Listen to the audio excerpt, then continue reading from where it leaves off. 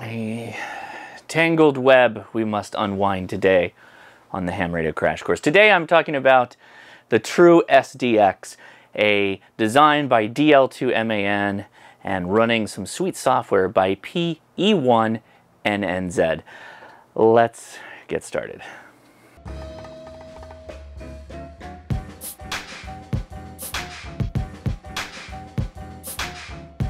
The True SDX is a quite nice sized portable QRP radio. It advertises five bands of operation and QRP power output, 20 meters and lower down to 80 meters. And there's rumors that will be software updates that will get all the higher bands up to 10 meters at play eventually. And the design of this radio would allow that to happen given a firmware update or something along those lines. This radio has made the rounds online. There's a lot of people talking about it.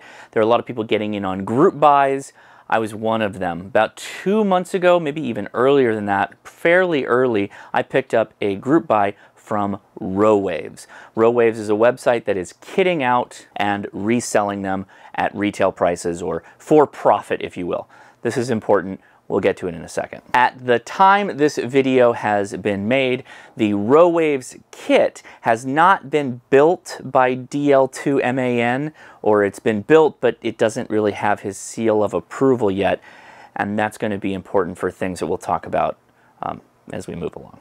So why does this matter? Group buys, who's making which radio, blah, blah, blah. Well, this is a Creative Commons kit. The design of this radio is under Creative Commons license, meaning anyone can go buy parts for this, kit them up, resell them for profit, and they don't have to pay DL2MAN or PE1NNZ for the pleasure to do so. Now, DL2MAN has a nice YouTube page where he goes through and talks a ton about his True SDX radio and also builds the kits produced by third parties. In a rush to try and get this radio in the hands of as many people possible, uh, RoWaves went out and made these kits. They're on, I think, wave six, meaning there are six group buys that have been closed and are either have been shipped, like mine, and are in my hot little hands, or they are going out eventually in the future. The first two group buy waves, one and two, mine was part of two, did not come with a bootloader flashed on the microcontroller. Uh, this has been remedied with the later group builds. This is just an FYI if you are kind of new to the world of flashing bootloaders and firmwares. I would suggest you go with whichever company produces a kit or developed completed radio that has the bootloader already in it for some of the issues I've gone through getting to this point today. Some of you might be thinking to yourself, Josh, you are really, you're really belaboring the opening of this. What the heck is going on? Uh, well, I have a, a kind of a dead on arrival kit and I will try and explain that in as fast as I can. Uh, stick with me though, because some of you may experience this. I don't know if this is systemic, it just happened to me, and I'm telling you about it. My RoWaves kit arrived with all the surface mount parts eh, already installed on the radio. One of them being the microcontroller that basically runs the firmware, the software brains, if you will, of the radio. After some troubleshooting with the folks at RoWaves, it was determined that my microcontroller was dead. So they sent me a new logic board. Uh, the bad news with that is I had already completed the full build of the radio. The build was complete. And so I had to just desolder some parts and migrate them over to this new logic board. So far, RoWave support has been good. They have been proactive, responding to my emails very quickly. So I have to give them points for that. In parallel, DL2MAN runs a web forum where people talk about their build process and a lot of troubleshooting that people are going for or going through with these radios. And it was discovered that the RoWaves kit, and I, I, believe this is all of them, again at the time of recording, which is April 11th, 2022, that there is an efficiency problem with the radio. Meaning the advertised QRP 5 watts output is not achievable right now with the RoWaves kit and um, the link will be in the description. You can go check out the forum. They may be further along than I have checked in the last couple of days. Just keep in mind that there is potentially a bug in the build with the RoWaves kit. Um, hang on, don't anybody run away yet. There are other options that we'll talk about here shortly. I just wanted to give an FYI. Yeah, it looks like they're still debugging this and they've literally got the thermal cameras out there. You can see that right there, looking at one of the wrapped up toroids. Um, okay, Let, let's, let's see if we can move forward a little bit here. So now I'll tell you the, the upside of all this. The kit is $130. You can buy one of these kits through a distributor on AliExpress. So far, the true SDX that you can get off of AliExpress doesn't experience the efficiency problems, at least that's my understanding. Uh, you can also buy a completed true SDX from the same AliExpress site. I will post a link in the description so you can check it out. So all that precursor bit there in the beginning is for people who bought the RoWaves kits and you may be wondering what the heck is even going on.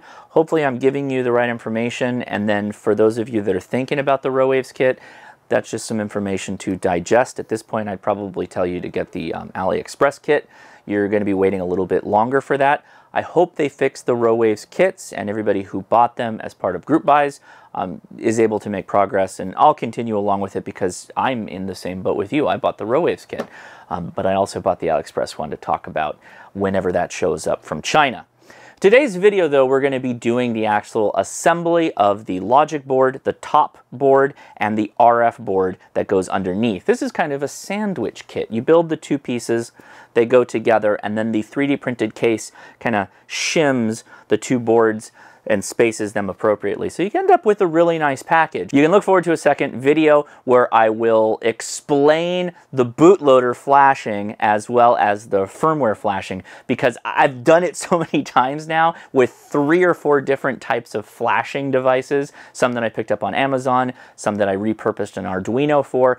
Good news is all these flashing mechanisms works really well. I was able to get a little crazy with the experimentation that I went through, so do look forward to that. I was literally harvesting microcontrollers off of Arduino Micros to, or Arduino Minis to make this work. Hat tip to Loyal, um, admin sort extraordinaire there on the Discord.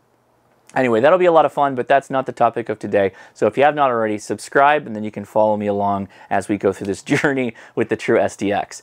Now, I will say I am still optimistic about getting a working copy of this radio because, if I didn't mention it up front, this isn't just a CW radio. This is also single sideband. In fact, it also does AM and FM modulation. So you get single sideband, upper and lower sideband, Morse code, of course, and AM and FM capability.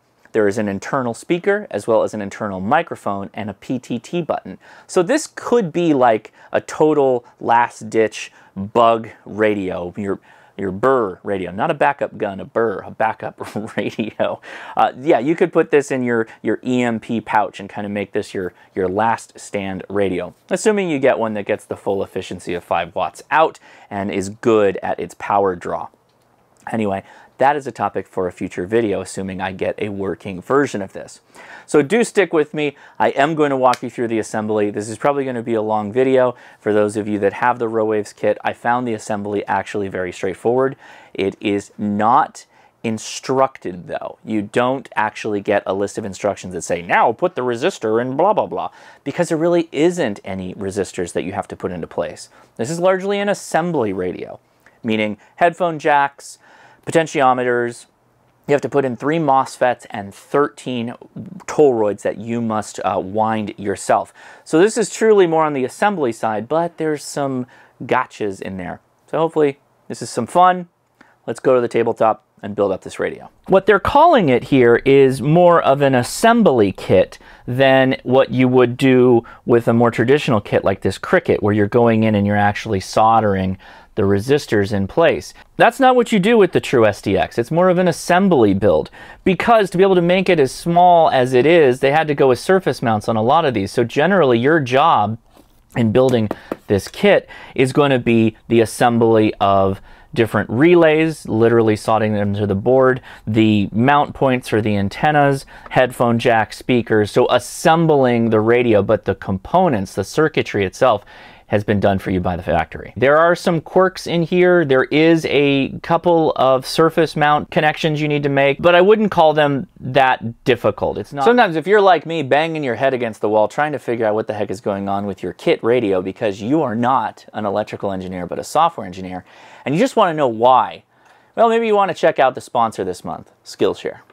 Skillshare is an online learning website for focused absorption of information, and this is no exception. The basic fundamentals of electricity and DC circuit analysis, and this is put out by Graham Van Brunt, professional electrical engineer.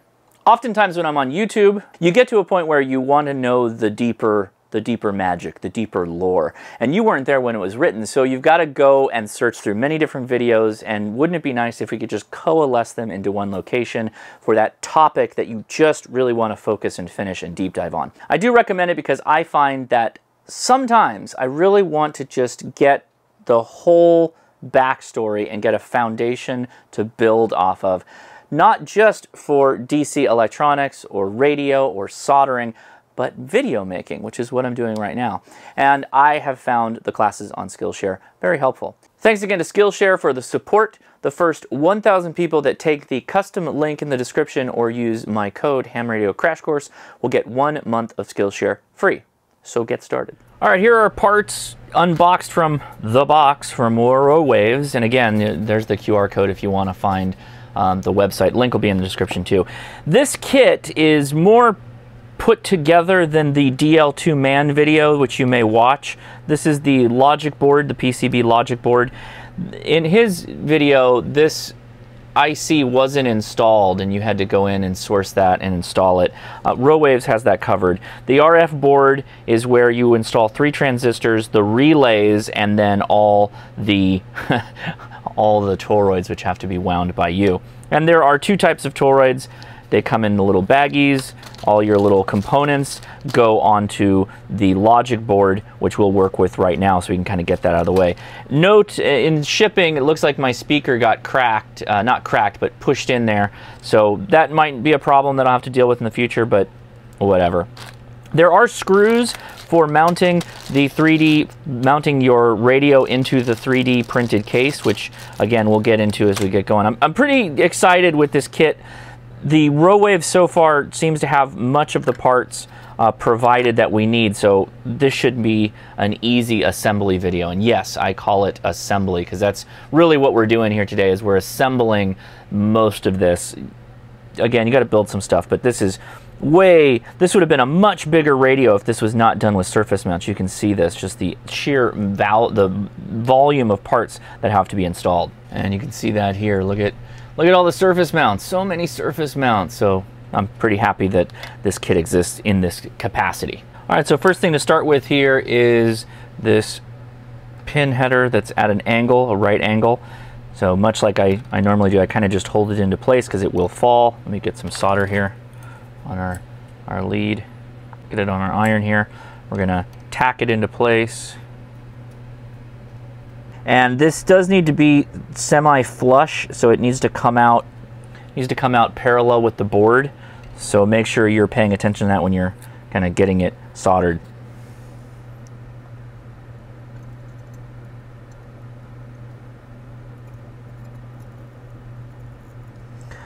I'm running my iron at 650 degrees. This is uh, likely 60-40 solder, for those of you that ask and check for straightness. See it? Pretty good, pretty good. Okay, most of the uh, parts, the actual things that you will interface are attached on the back side, like these mic jacks, key jacks, all that stuff, so they kind of go in, sit flush like that, like a so. A lot of these aren't going to hold into place, so we will come back to them. Let's do the first one here. I, I, I kind of tilt my PCB vise to be a little bit more towards me, and then I'll come in, I'll put my finger over the top of it, and then just hit it with the solder. We're kind of tacking it into place. That's the primary purpose of this. So that it sits flush. You really want this to be flush on the board. And then go around and just hit all the other spots. This is often the last thing you do, but in this kit, it makes sense to kind of just get the RF or the logic board done and then get it out of the way. I am using the stock tip on the Hakko. There's no reason to go to the small one. So here's another one. I'm going to do this a bit off to the side.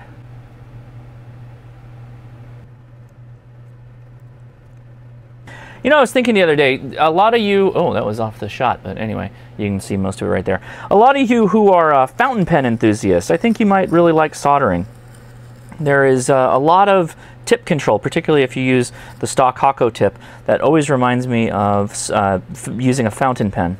Remember, I'm I'm tacking it. That's the, the point here. I'm, vert I'm holding it vertically. I'm going to go to the first little tip there, throw some solder on it, just to get it to sit. Hold it into place, then bring it down, and it, it locks it for me so I can do the rest of them. And then we'll come back to that one if I need to update. In fact, I need to go back and clean this one up a little bit.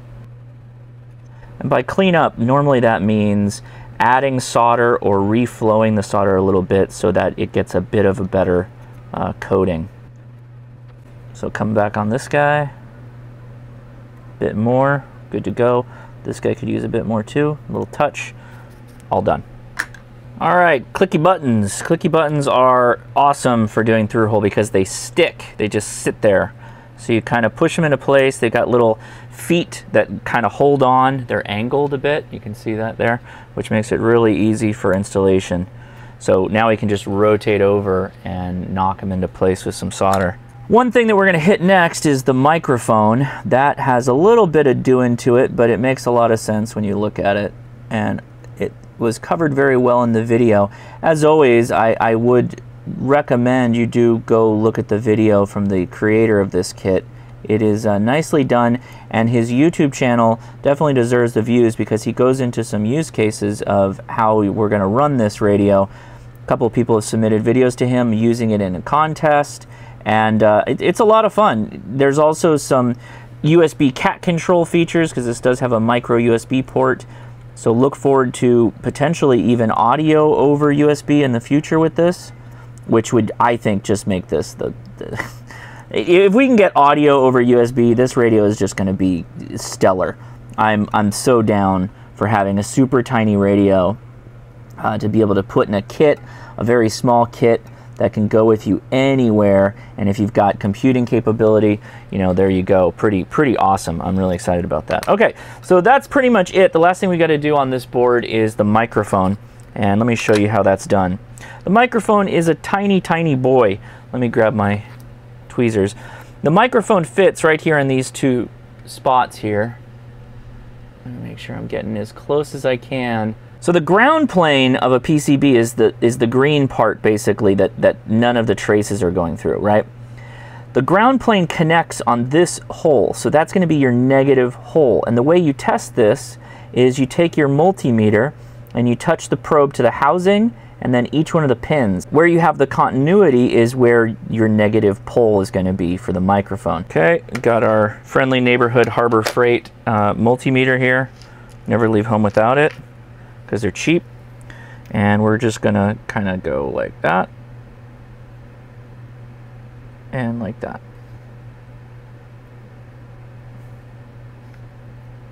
It's not actually easy to do this. egads, I had to put it on the table so I could get it better. It's this guy.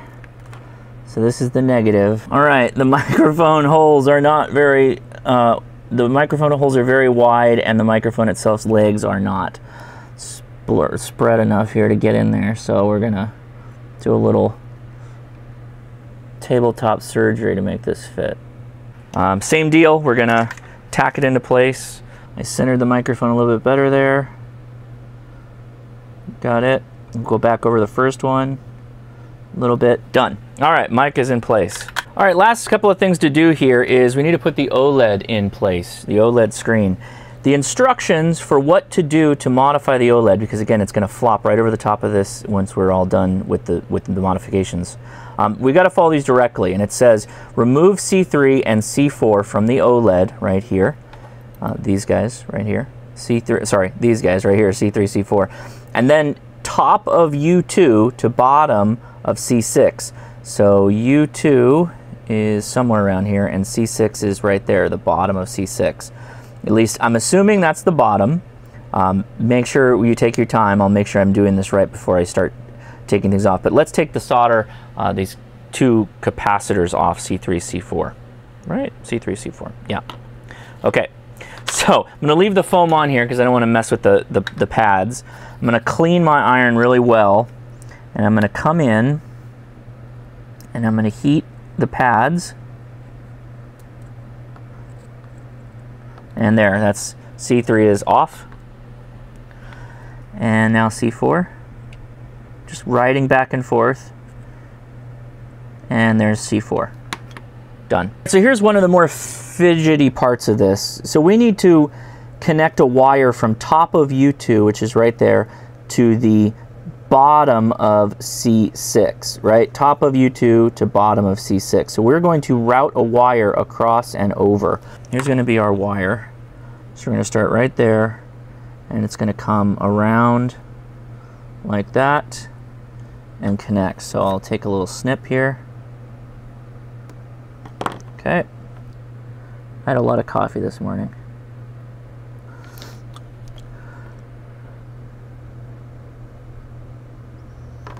Okay.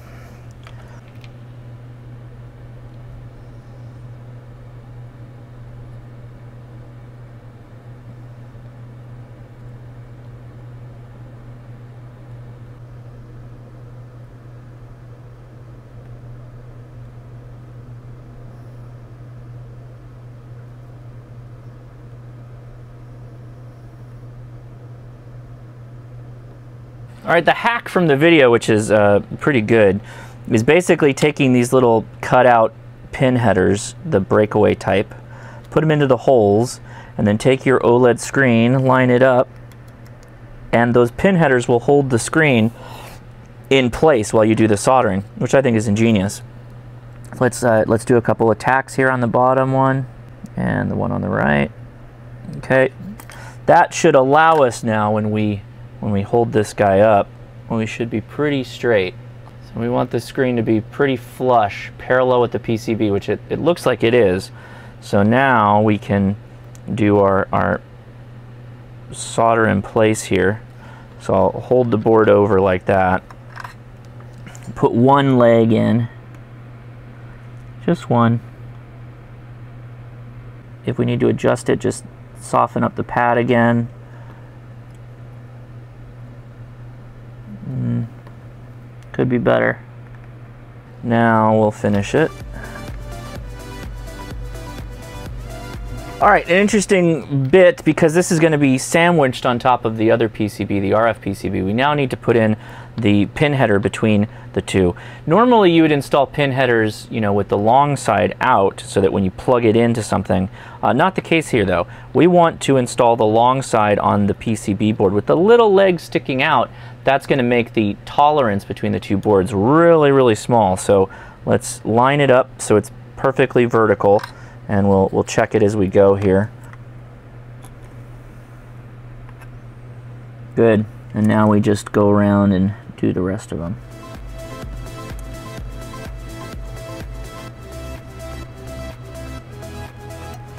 All right, last component is the PCB rotary encoder or the rotary encoder installed on the PCB. It goes right in, it can only go in one way. I'm gonna let the PCB kind of push up against it and I'm going to solder one leg and then we're going to check the fit. Yep, that's about as flush as it's going to get. All right, now we finish up the rest of the solders.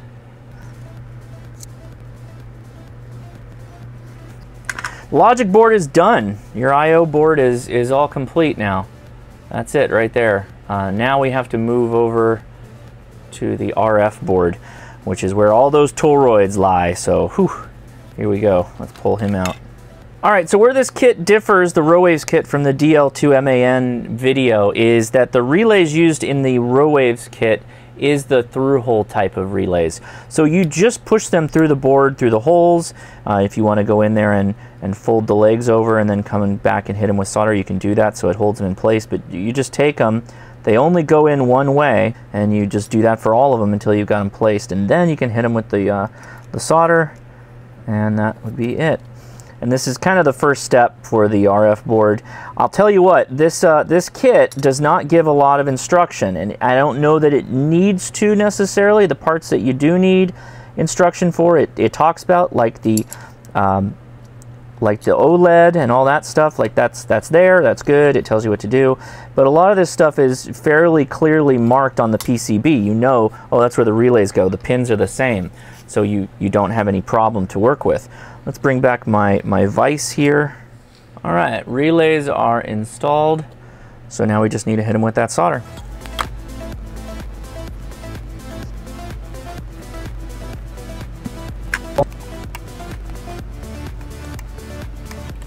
Wow, we did it. All right, so now, now unfortunately the next step is we're gonna have to start winding some toroids and uh, we can go ahead and put these, let's put our, our these MOSFETs I believe. Let's do those now so we're just, they're done and out of the way. You can see the PCB's already got them lined up. The holes are right there. All right, I put this off long enough. We've got 10 toroids here and then three more. Now, the there are schematics online that you can look at, uh, but there's also this like web-based HTML PCB tool that uh, I'll link in the description and you can get it off of uh, D2MAN's website as well. That when you click on the PCB area, it'll tell you what part goes where and how many windings. Most of the red toroids is very straightforward. It'll just say T and then the number of turns. These guys, two of them in particular, have a primary and secondary winding. So it does come with some magnet wire. Unsure if this is enameled or not. I'm going to assume that it is. It's a pretty decent amount of wire, so we should be able to do all these. So you just start, you just start winding.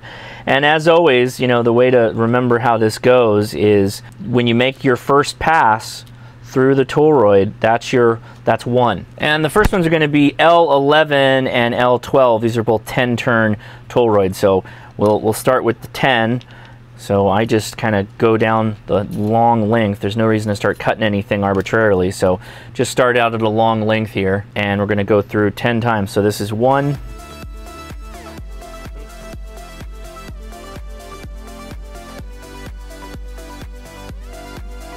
and 10. So I actually went too long on that one. You can see I, I pulled too much wire out on that one, so that's not necessarily good, but I've got backup magnet wire for those of you that um, you don't have a lot of magnet wire and this is what you got, what came with the kit. Just keep that in mind that you could cut too much. In this case, yeah, that's, that's a bit too much. So I'm going to snip the ends off that I don't need. I'm going to save that for the one pass through. Stretch out the windings, make them even across your toroid and then just snip the snip the leads off. You can make them long, it's fine for what I'm about to show you um, how DL2MAN recommends it.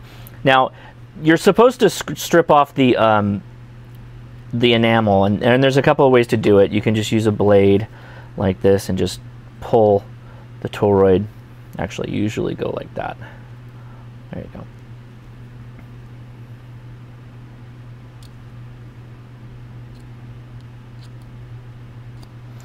There's other methods. I also like using a lighter like this. Heat the enamel up and then use a bit of steel wool to just pull it off. That makes it really clean. So I'm going to show you right now with overlays. The overlays is the HTML website. You will click on the component that you're curious about. These are going to be L's, so L, L11, L12s. Those are going to be your toroids. You're going to look at the first digit on most of them and it'll have it'll be prepended with a T. That's the number of turns you need. And then you're going to go in here and, evenly space them out. You can do that after you wind it. Pull relatively tight as you go, but there is actually a breaking point on this wire, so don't pull too tight because then you actually will just end up breaking it. Once you have those done, go ahead and strip off the enamel and then I'll show you the next bit. Double checking everything, make sure you're looking at that uh, diagram, that schematics really well. We got L11, and L32. These are both 10 turn uh, toroids. So they're simple at that point. Once you've got the 10 turns through them, you put them through the holes like that. Now D2, sorry, DL2MAN, he takes them, holds them, and then turns the PCB. I've, I've seen that done before. Um, you can go ahead and do that if you'd like to. Makes sense. You do need to clear off the enamel though before you do this. It's not going to work without that. And what was the other one? D, uh, L32. Yeah, that does make things a little bit nice. So when you click on the, the part, when you've got multiples, in this case you've got two 10 turn Toroids here, uh, it does make it kind of easy to use that, that website to be able to, to, to look at which ones are it. So then you just flip them around. You've got your enamel stripped off the wires there, so you're ready to solder. So then when you go to solder it, you just hit up those two tabs pretty easy. I'll show that when we get there. But for right now, let's wrap the rest of these toroids and then we'll talk about these other guys that are right here. For the sake of sanity, I'm just gonna go ahead and wrap these and hit the old time lapse button. That's one, two,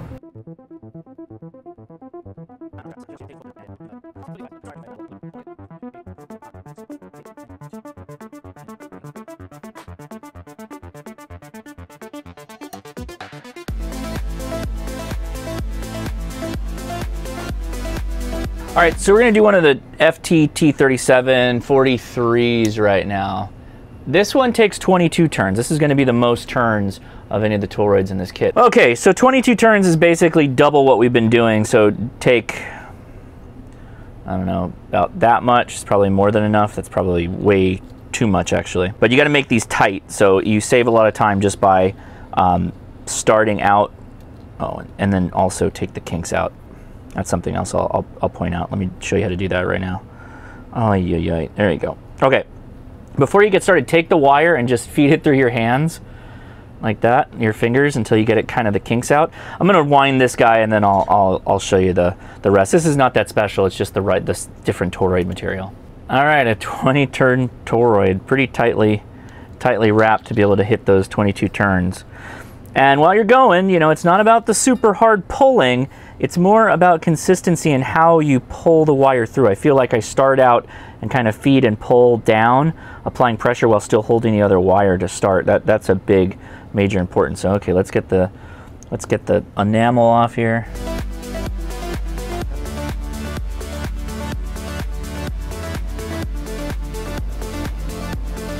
All right, all the toroids have been wound. Whew. Let's talk about these ones, okay? The ones on two on the left side here. They are each seven wraps, okay? Seven wraps on the toroid. But there are two holes on each side of the toroid, which you can see there and there and there and there. The toroid goes on the diagonal line of the PCB, which is going to be this guy and the guy right there. And then you take one single wire and go through the, the toroid to the hole on the other side. All I did for that was take a bit of the magnet wire, take a bit of the magnet wire and strip off a little bit, you know, half an inch, an inch on each side. So you got maybe a quarter of an inch to half an inch in the middle. And that's the part that goes through the toroid there. Seemed to work just fine. Well, we'll see when we get it all uh, soldered up here and turned on. Anyway, time to put the heat down. I did already solder those because I was I was kind of curious how they were all going to go in, so I figured it'd be best if I just got them all placed and got done with it. And there we go. Now, I did uh, a bit of a job on all the enamel wire. You really got to get in there and, and knock it out. Uh, you really take your time with doing that because uh, I have definitely had kits before where the enamel wasn't completely stripped off and they, they just didn't they just didn't work out. Let me just put it that way. I, I spent a lot of time uh, messing with them after having them already done and then I ended up having once you start cutting your wires here on your toroids then you're there's not much to work with uh, if you're trying to take off the enamel after the fact so just keep that in mind. We've got a little bit of that going on right now, so I'm trying to clean up some of the leftover leavings of enamel as I'm going through this. You'll see them smoke up a bit. And really go in there and uh, use your iron to scrape up and down on the toroid wires poking through. If there's just even a little bit of enamel left, that'll sometimes help knock it all off. Okay. This one's got a bit of enamel left on there. Try and cook it off a bit. Here too. Just go in there and scrape a little bit with your iron tip. And that should take care of it. All right, uh, aside from the pin header and the antenna connection, I think we're done here. So I'll just do a little cleanup of the, the leads You know, something to keep in mind is that some of this stuff is a bit non-standard. This radio has an SMA antenna connection and the power connector is uh, not at all what I would expect. It is a uh, much smaller diameter power connector. Now that might be to save space. I don't know that that's true. It could be cost. The designer of this, the designers of this kit really wanted to make something that was inexpensive and easily purchasable for group buys which if you've made it this far and you're interested in this radio, this is a great group buy radio. In fact, there's a couple of websites that are offering group buys. So if you're interested in setting up your own group buy or getting something going in that front, uh, take the link in the description to DL2MAN's site where he talks about group buys. All right, so sandwichy time, getting ready to, to do that PCB sandwich.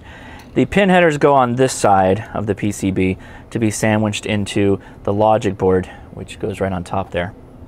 So let's, let's solder this guy into place. Same kind of concept. You know what I do? I'll pin one end, clean your tip for at least for that first one. Very important.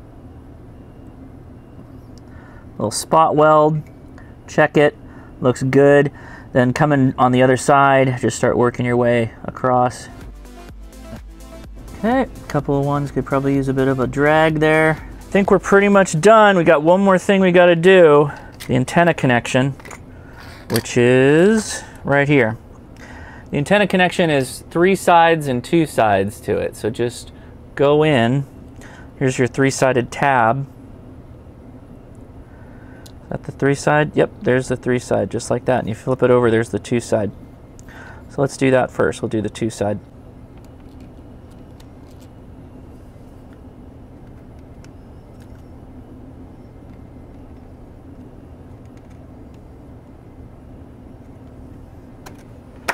Okay.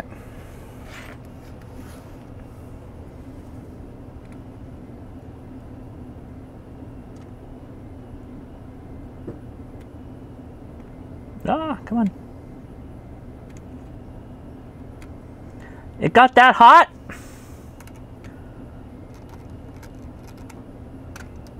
Well, that's not good.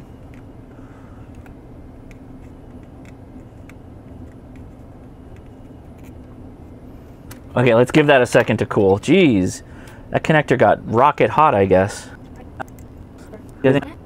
Wow. All right. Not so bad, but uh, definitely assembly is probably the right word for it, but it, it does go down the rabbit hole a bit of a kit.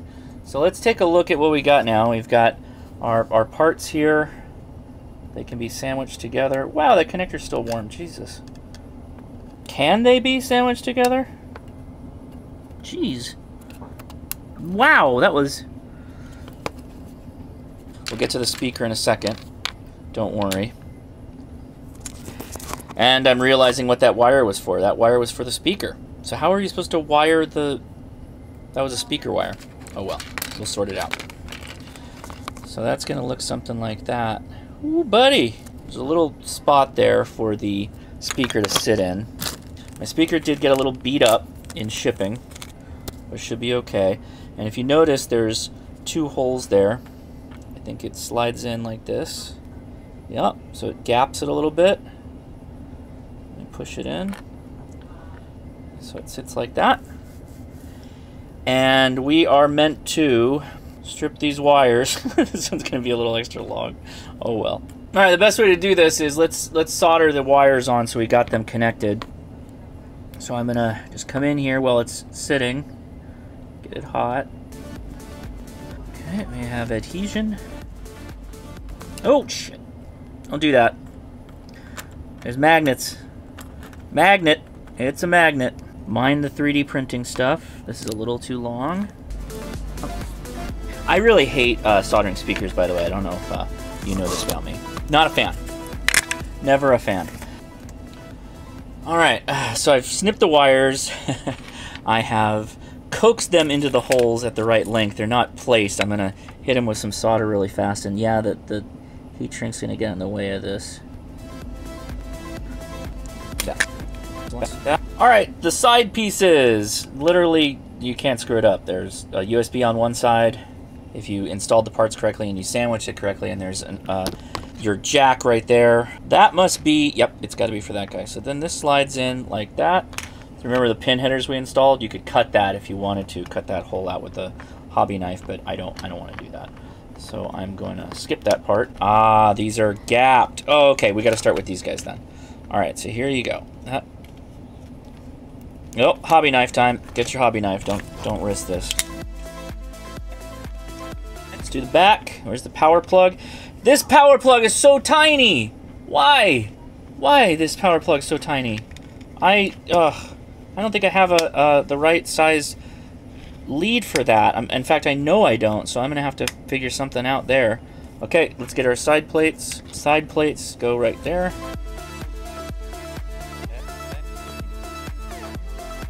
Bingo, bango, look at that. Okay. This guy goes like that. That. Now, the kit and, and the work done here by DA, DL2 MAN and PE1NNZ. Really nicely done. However, and this isn't their fault, uh, wherever you buy your kit from, sometimes it will be lacking in hardware, and I think I'm missing some parts. I'm missing uh, some screws here. But I'll take what I can get. Let's get it, let's get this, uh, at least the faceplate screwed together. All right, uh, we're we're out of screws, or we have two more. Sorry, we got two more, but uh, we need more than that to close this up fully. However, the tool will get us going at least to the point that we can we can test this radio out. I realize in assembling this, I have committed one of the cardinal sins of of of building things in that you don't you don't assemble the kit until you plug it in and do the troubleshooting that it works and all that good stuff. Uh, I don't have the right power connector for the back here, but it will power off of USB. At least that is my understanding. So...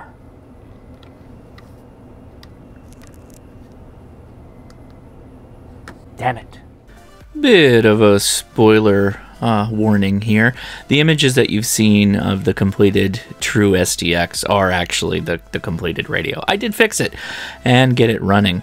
So you can look forward to a part two where we talk all about this interesting radio. Well, I hope I was able to explain a little bit about what's going on with the RoWaves kit. And for those of you that have all the other kits, hopefully this assembly video helps you out because the instructions and the how-tos literally come from DL2MAN. So they should be the same for all the kits. Again, Creative Commons, they should be pretty close.